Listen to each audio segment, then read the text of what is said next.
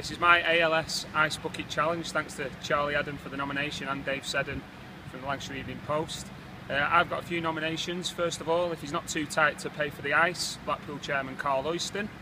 I also want to name, nominate Shrewsbury Town Chief Executive Matt Williams and my mate Trasky. And two baby nominations for Annabella Adam and Millie Omani.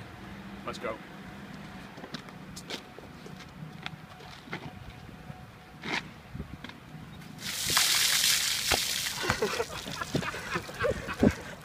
hey, that's get the shoes off.